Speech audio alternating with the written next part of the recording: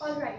A very good evening to every person sitting here, my respected teachers, the jury members, and all of the students out here.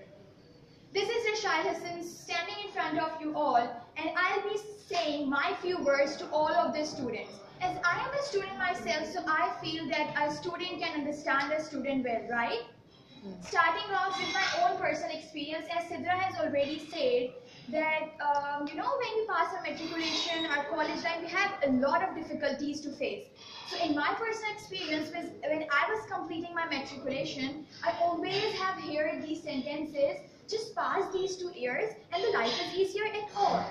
Okay, I cope up with it. I passed my matriculation with very, very good grades. And then came my intermediate.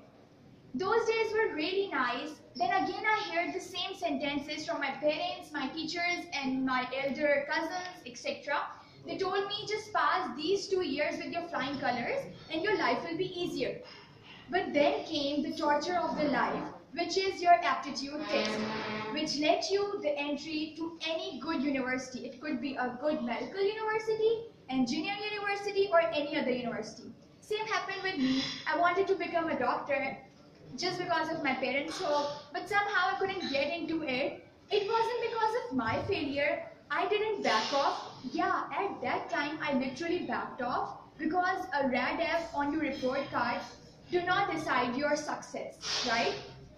So, at that moment my parents supported me very well. Oh, the failure for me was at the time that I didn't even pass the exam with one mark. You know, it wasn't even one mark. There were only two points just because I couldn't get into the medical university. That was the point I got really devastated that I worked hard a lot, I had prayed a lot, but still I couldn't make into it. My parents, my teachers, my friends, my cousin, every single person out there supported me. Literally, they supported me, they motivated me, they gave me good points, but still I wasn't able to cope up with it all. You know why? Because I myself, my brain, my unconscious wasn't able to accept this reality that I couldn't get into a medical university. Somehow, right now I'm standing here and I feel that Allah Almighty has selected a better option for me rather than being a doctor.